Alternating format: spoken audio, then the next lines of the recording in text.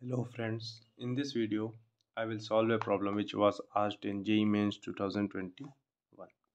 Okay, okay, let's see the question.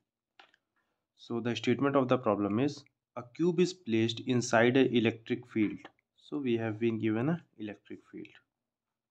We have been given an electric field that is 150 y square j cap means we have been given an electric field which is in y direction and if we'll see carefully we will see that this electric field is not constant. This electric field is a function of y.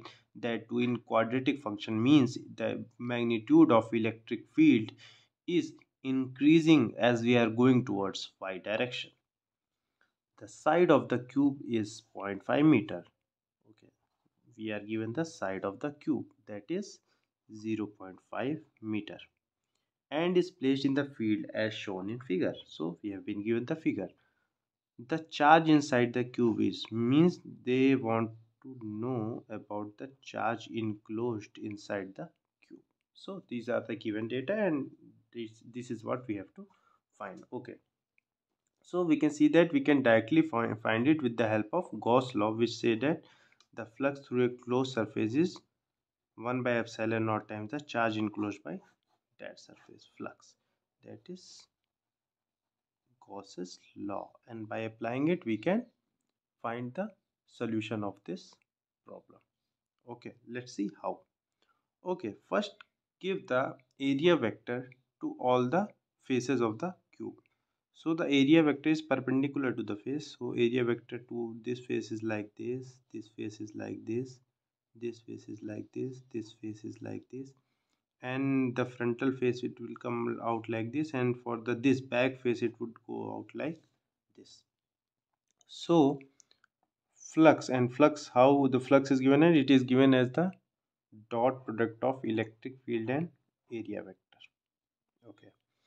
So when we'll do the uh, dot product of all these six faces we will see that for this face okay let me do it with other uh, other uh, another color for this face this face this uh, frontal face and this backward face.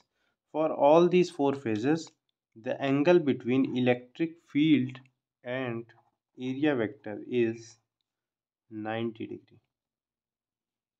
So we know that the vector a dot vector b is given as mod of vector a mod of vector b and cos of theta and the value of cos 90 is 0 means for all these four surfaces the electric flux is 0 okay.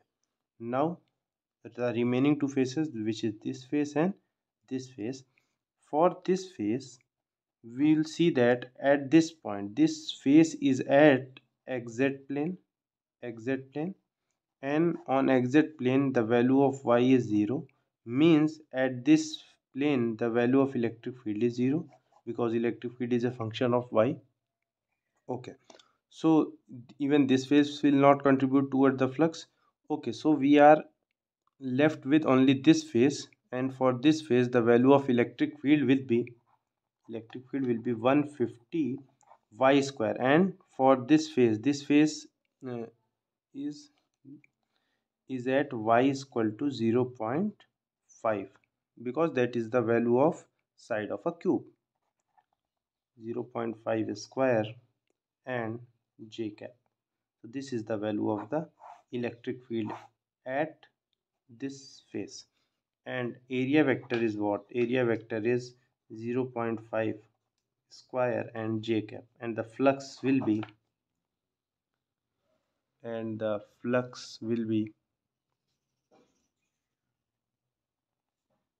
vector e dot vector a that would be 150 into 0 0.5 square j cap dot 0 0.5 square j cap. And j cap dot j cap is 1 that is 150 into 0 0.5 square into 0 0.5 square.